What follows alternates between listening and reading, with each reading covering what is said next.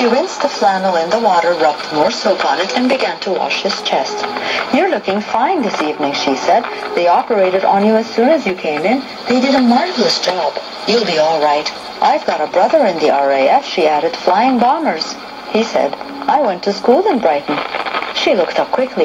Well, that's fine, she said. I expect you'll know some people in the town. Yes, he said. I know quite a few.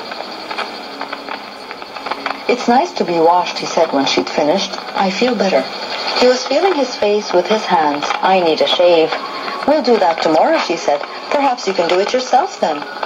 That night he could not sleep.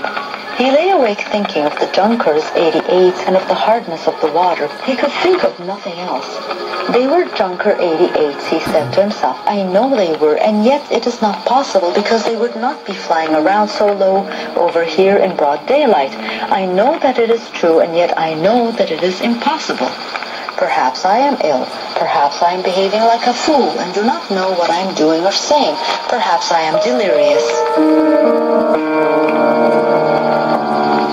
Up just as the first light of day was showing through the slit in the curtains over the window. The room was still dark, but he could tell that it was already beginning to get light outside.